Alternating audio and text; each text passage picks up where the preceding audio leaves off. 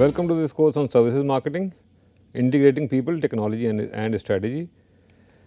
We are talking about the first section and in this we are talking about the uh, consumer behavior in services context. The module 4, 5 and 6 are dedicated to consumer behavior in services. We have talked about module 4 and 5. Now, let us start with uh, the module 6. In this module 6, we will talk about how to go about obtaining insights from viewing the service encounter as a form of theatre. So, we have seen in module 5 the moment of moment of truth uh, metaphor. Now, we will uh, we will see the service encounter as a form of the theatre knowing how role, scripts and perceived control theories contribute to towards a better understanding of service encounter.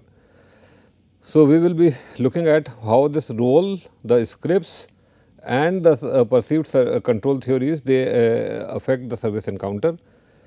Describe how customers evaluate services and what determines their satisfaction. Then we will try to understand service quality, what are its dimension and how to measure them and how quality relates to customer loyalty. So, these are the things that we will talk about in this module. We are continuing with the same three stage model of service consumption, the pre-purchase stage, service encounter stage and the post uh, stage. To start with, in this previous module, the, that is module uh, 5th, we understood the significance of moment of truth metaphor in the context of services. Likewise, theatre can be used as a metaphor for service delivery and firms can view their service as staging a performance with props and actors and manage them accordingly. The props are the service facilities and equipment, these actors are the service personnel and the customers.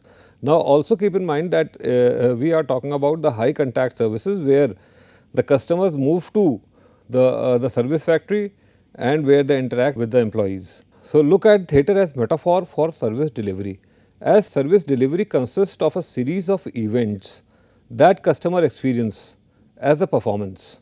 So, there are a, a sequence of events, a series of events that customer experience. The theatre is a good metaphor for services and the creation of service experience through the servuction system. This metaphor is particularly useful approach for high contact service providers such as physicians and hotels and for businesses that serve many people simultaneously such as hospitals, professional sports facilities and entertainment. Now, keep in mind that we are talking about the type of service where the customer and the employees they come together the, the services are to be delivered on the customer. This is the high contact services and there are other customers also in the service uh, factory. So, let us discuss the stages that is service facilities and the member of the cast that is the frontline employee. Service facilities, imagine service facilities at, as containing the stage on which the drama unfolds. So, this is the stage where the service uh, employee and the uh, employees they come and the service is delivered. Sometimes the setting change for, from one act to another. When airline passengers move from entrance to the terminal to the check-in stations and thereon to the boarding gates and finally step inside the aircraft. So, the setting keeps on changing. Some stages have minimal props, for example, taxi. In contrast, other stages have much more elaborate props that is a resort hotel or with elaborate architecture, luxurious uh, interior design and lush landscaping. So, there are some, some kind of services where the props they are minimum. For example, that all the taxis may look the same uh, inside. But then there are services where, where this elaborate uh, this props may, may play a distinguishing role, a determining role in customer decision making. For example, the resort hotels with which have elaborate architecture, then they may have luxurious interior design and the their landscaping. So, in this case, in the second case, these services the props can be used to uh, to distinguish between one service and another service, while in the first case they are uh, they do not play any important role. Personnel, the front stage personnel are like the members of a cast playing roles as actors in a drama supported by backstage production team. So, this this uh, front stage employees they are or front stage personnel they are uh, like the actors in a drama who are playing a role and all the, their role is being uh, supported by some uh, people at the backstage. In some instances the service personnels are expected to wear special costume when on stage, such as fanciful uniform often worn by hotel doormen. The theatre metaphor also includes the role of the players on the stage and the script they have to follow. So, it is not only about the stage, but also the role that they will play on this stage and the script that they have to follow. Maybe what is the movement of their uh, body and what will they speak, what will be the expressions on their face. So, actors in a theatre need to know what roles they play and familiarize themselves with the script. Similarly, in service encounters, knowledge of a role and script theory can help organization better understand design and manage both employees and customer behavior during service encounters. So, in services in high contact services, the employees have to be knowledgeable about the role that they are going to play on a stage and the script that according to which they have to uh, the service has to be delivered. Now, both of them both of these things are important for the uh, uh, for the service delivery. So, there is this role theory, role role and script theory. So, if we view service delivery from a theoretical perspective, then both employees and customer act out their parts in the performance according to a predetermined role. So, this role theory is that as there as as is there in the theoretical uh, uh, theoretical uh, uh, perspective both employees and customers they have their their part to play and that that is predetermined. Now if both of them know what part they are, what role they have to play what is uh, their the, their role respective roles in the whole of service delivery then it becomes very easy and the total experience can easily be managed.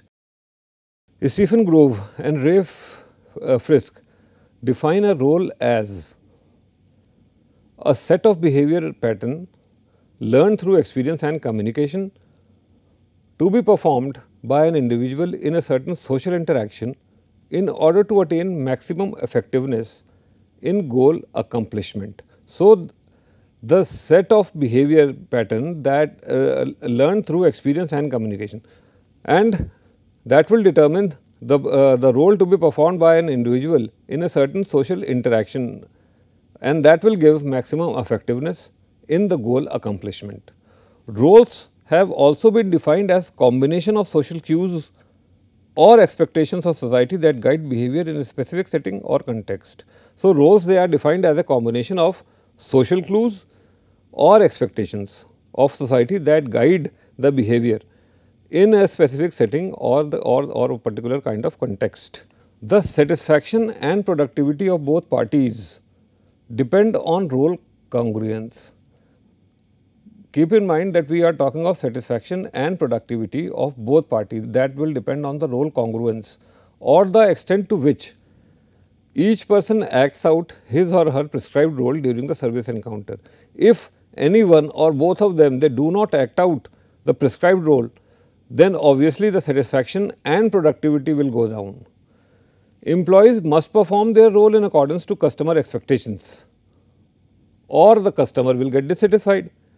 As a customer, you too have a role to play, play by the rules or risk causing problem for the firm, its employees or even other customers. So, the customers too have a role to play, they have to play by the rules or that may cause the problem for the firm its employees or the other customers who are there. Then there is another theory that is called as script theory. Much like a movie script, a service script specifies the sequence of behavior employees and customers are expected to learn and follow during the service delivery. So, this service delivery is also, uh, also have a script and this is uh, this specifies the sequence of behavior that both the employees and customers will exhibit. Employee receive formal training for, uh, for delivering on this uh, script. Customers learn the script through experience, through communication with others or through design communication and education. So, although employee may can, obviously employees can be given training, but customers cannot. So, and the customers they learn the script over a period of time through the experience or through the communication with, with other people or the communication they received from, uh, from the company or the education that co company does for its customers. The more experience a customer has with the service company, the more familiar that particular script becomes. So, now it becomes easier for the customer to play out, his role because now he is familiar with the script. Unwillingness to learn a new script may be a reason not to switch to a comp uh, competing organization. So, the customers may not like to, uh, to learn a new script and unlearn the, no, uh, the older script. So, that makes him complacent and he may not move to another competing organization. Any deviation from this known script may frustrate both customers and employee and can lead to dissatisfaction. So, uh, so this uh, this script have to be followed because any any deviation from the script either by the customers or employees can lead to dissatisfaction. If a company decides to change a service script by using technology to trans transform a high contact service into a low contact one, service personnel and customers need to be educated about the new approach and the benefit it provides. So, if by any chance a company is changing the service script, maybe they are using technology to transform high contact services to low contact services. So, now there is a need not only to educate the service personnel, but also the customers and uh, about this new approach and the benefit it is going to provide to them. Many service dramas are tightly scripted like the flight attendant's script for the economy class, which reduces variability and ensures uniform quality. So, the advantage of this, uh, this script theory is that it reduces the variability and it leads to the uniform quality being delivered to the customers. However, not all services involve highly scripted performances. Script tend to be more flexible for providers of highly customized services. Now, when the services are highly customized, this script may be flexible, while on the other hand, when the services are standardized, then this script, script also become standardized. So, uh, so this uh, scripts tend to be more flexible for providers of highly customized services. For example, the designers, educators, consultants and may vary by situation and by the customers. So, this, this uh, script may vary by, by situation and by the type of customer. And this role and script theories, they complement each other. Excellent service marketers understand both perspective and proactively define, communicate and train their employees and customers in their roles and services scripts. So, both the employees and the customers they, uh, they are to be trained uh, in the roles and service script to achieve performance that yields high customer satisfaction and also at the same time service productivity. Because you see that uh, satisfaction is important for the customer and productivity is to a large extent uh, important for the service provider. Another underlying dimension of every service encounter is the perceived control. So, we are now talking about the perceived control theory. It holds that customers have a need for control during the service encounter and that control is a major driving force of their behavior and, uh, and satisfaction. So, this theory uh, says that the customers have a need for control during this service encounter and that control drives their behavior and satisfaction.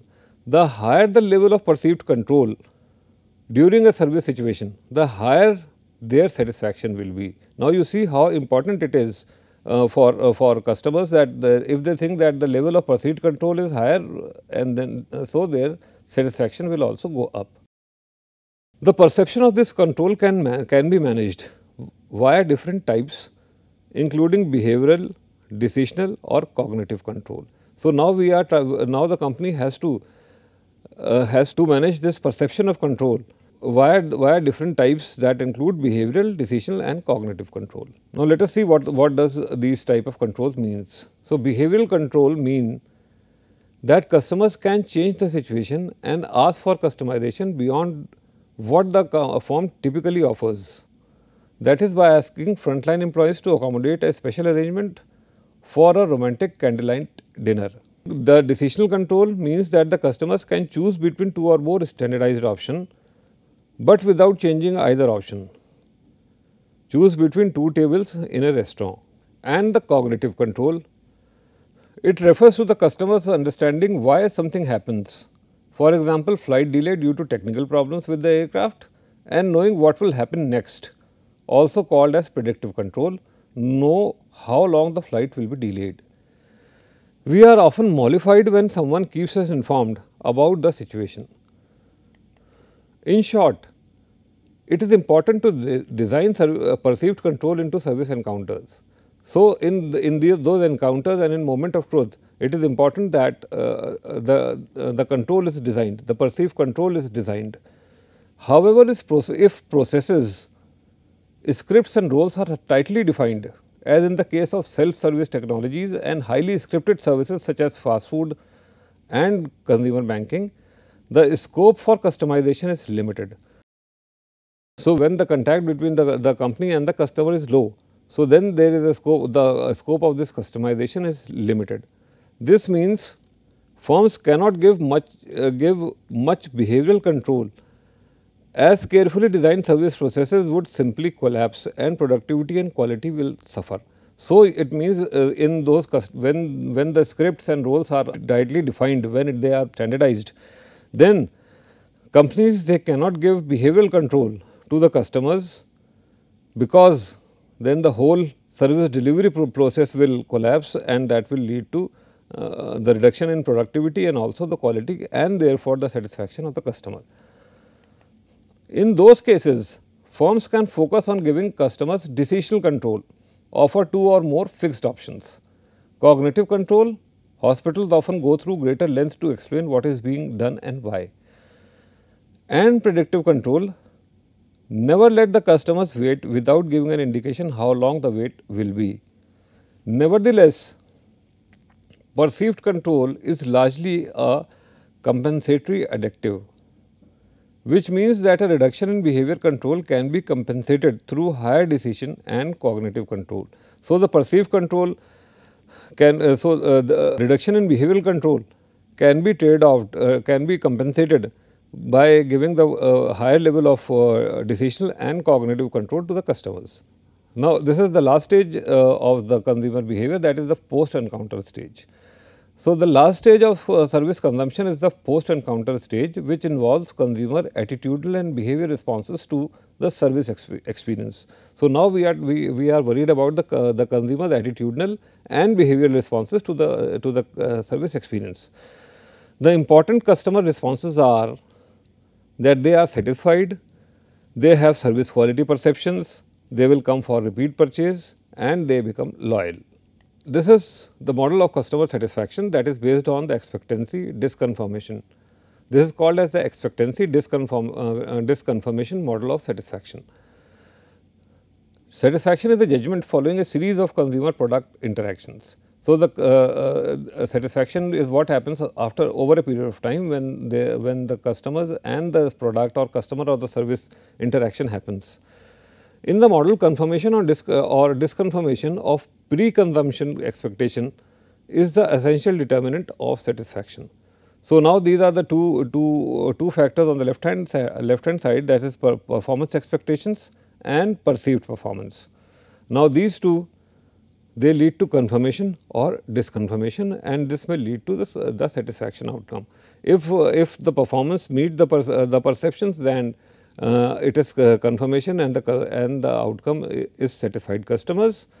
If uh, they do not meet then there is disconfirmation and and it leads to dissatisfied customers. So, where do service expectations in our customer in our satisfaction model comes from? During the decision making process, customer assesses the attribute and risk related to the service offerings. They assess the attributes of the services and the risk of uh, related to the service offerings. In the process, they develop expectations about how the service they choose will perform. Our predicted, desired and adequate service levels that we have discussed in the consumer decision making section. The zone of tolerance can be narrow and, and firm if they are related to attributes important to the uh, choice processes. For example, if a customer paid a premium of uh, $350 for a direct flight rather than one that has a 4 hour stopover, the customer will not take it lightly if there is a 6 hour flight delay. A customer will also have high expectations. If he paid a premium for high quality service and will be deeply disappointed when the service fails to deliver. So, when they when they pay a premium for uh, for high quality service, then they have higher expectations. And if the, those expectations are not met, then obviously the customers will be uh, dissatisfied. During and after consumption, customers experience the service performance and compare it to their expectations. Satisfaction judgments are then formed based on this comparison. If performance perceptions are worse than expected, it is called as negative disconfirmation if the performance is better than expected it is called as positive disconfirmation and if it is expected then it is then it is simply called as confirmation of expectations. So, when expectations are met it is called as confirmation of expectations. When they are below the expectations then they are called negative disconfirmation. When they are uh, better than the expected then they are called as positive uh, disconfirmation. Customers will be reasonably satisfied as long as perceived performance falls within the zone of tolerance that is above the adequate service level. So, when the service delivery is between the adequate and the desired then the customers will be reasonably satisfied. As performance perceptions approach or exceed desired levels customers will be very pleased. So, as you move up the zone of tolerance then the customers will be very pleased and satisfied customers are obviously more likely to make repeat purchase, they may remain loyal and they will spread positive word of mouth. However, if service experience does not meet their expectations, then customers they may suffer in silence, complain about poor service quality or switch providers in the future. Satisfaction with service attributes thus results from the experience of attribute specific performance and strongly influence consumers overall satisfaction. This multi-attribute model help to better understand the formation of process of customer satisfaction. So, now we are worried about how the customers customer satisfaction is formed. So, this multi-attribute model they helps uh, it helps us to understand how this customer satisfaction is formed. Specifically, they help managers identify specific attributes with a strong impact on overall satisfaction. Which attributes have a strong impact on overall satisfaction, which is especially important if customers are satisfied with some attributes, but dissatisfied with others. Understanding this helps managers to cement the strength of the firm's services and to focus improvement, improvement efforts on where it matters most. So, it will tell uh, the managers where to invest their energy and resources, in which areas are important for the customers. Are expectation always the right comparison standards? Comparing performance to expectations work well in reasonably competitive markets where customers have sufficient knowledge to choose a service that meets their needs and wants. Then when expectations are met, customers are satisfied. However, in uncompetitive markets or in situations in which customers do not have a free choice, there are risks to defining customer satisfaction relative to their prior expectations. For example, if customer expectations are low and actual service delivery meets the dismal level that was expected, customers uh, will hardly feel they are receiving good service quality. In such situations, it is better to use needs or wants as the standards for comparison and to define satisfaction as meeting or exceeding customer wants and needs rather than the expectations. Furthermore, the disconfirmation of expectation model works very well for search and experience attributes that is I know whether you kept your promise and delivered by 1 pm, but less for those services which are high on credence attributes. Firms therefore have to understand how uh, customers evaluate their service their service to proactively manage those aspects of their operations that have a strong effect on customer satisfaction. Even if these attributes may be unrelated to the core attributes such as the quality of a surgery.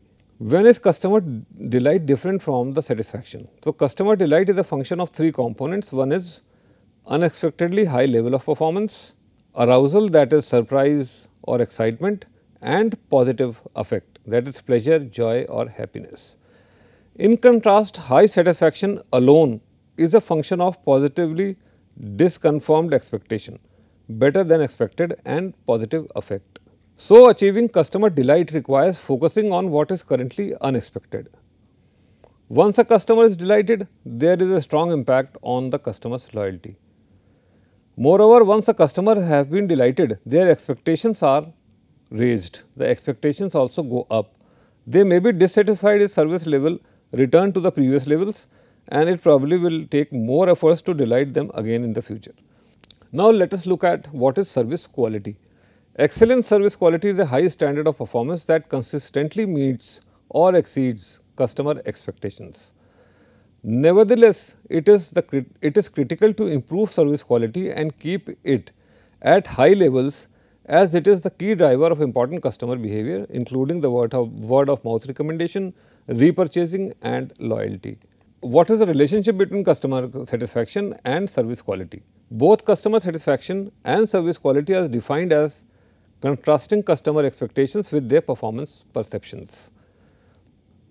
So, we are talking of customer expectations uh, matching customer expectations with their performance perceptions. So, what are the perceptions regarding the performance of this service?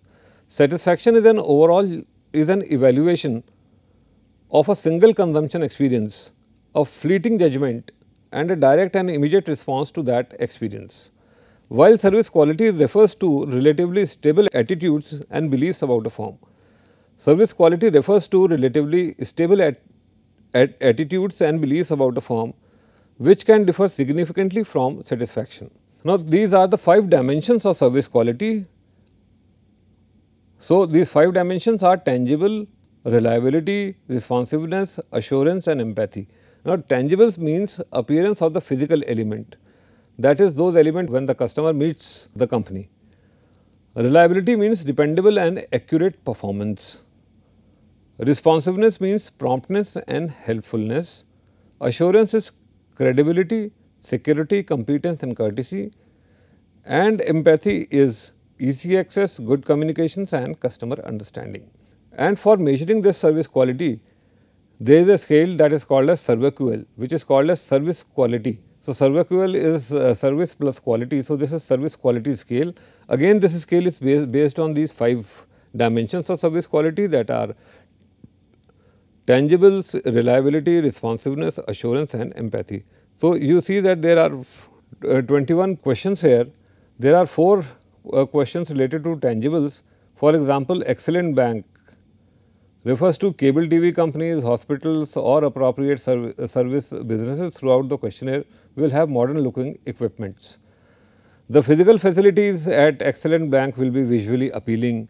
Employees uh, at excellent banks will, uh, will be neat in appearance and material for example, brochures or statements associated with the service will be visually appealing in an excellent bank and therefore, and again there are 4 questions related to reliability again 4 for responsiveness and 4 for assurance and 5 for empathy. For example, excellent bank will give customers individual attention, excellent banks will have operating hours convenient to all, uh, uh, all of their customers, excellent banks will have employees who give customers personal attention, the employees of excellent bank will understand the specific needs of their customers. So, excellent banks have your best interest at heart. So, this SERVQUAL scale is developed for uh, keeping the banks in mind. So, uh, you can use this scale for other other other kind of service providers also. Now, what is customer loyalty? Loyalty is a customer's willingness to continue patronizing a firm over a long term, preferably on an exclusive basis and recommend the firm's product to friends and associates. Customer loyalty extends beyond behavior and include preferences, likings and future intentions. So, it is not only about recommending the firms, but it also includes preferences, liking and future intentions. The opposite of loyalty is defection, which is used to describe customers who drop off a company's radar screen and transfer their loyalty to another suppliers. So, the uh, lo loyalty is, uh, is, uh, is the customer willingness to continue to, to buy from the same company over a period of time, over a long period of time and preferably they will not buy from some other, any other and they will continue to buy from this firm and they will con also continue to recommend the firm's product to their friends and, and associates. But loyalty uh, defection is op opposite of loyalty in which which is used to describe customers who drop off a company's radar screen and they may start buying from someone else. To conclude, we have studied the various models we explored for each of the stages are they, they are complementary and together provide a rich and deep understanding of the consumer behavior in the service context. In all types of services, managing customer behavior is uh, behavior in the three stages of uh, service consumption effectively is central to creating satisfied customers who will be willing to enter into long term relationship with the service providers. And these are uh, the three books that uh, have been used to prepare this module. Thank you.